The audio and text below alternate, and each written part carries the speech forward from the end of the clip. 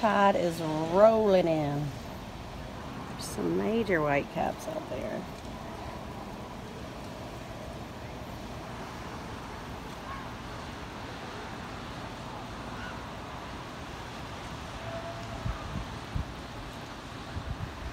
Somebody's having fun. Dylan met some friends. He's gonna go learn to surf tomorrow. Let's see. Very cool.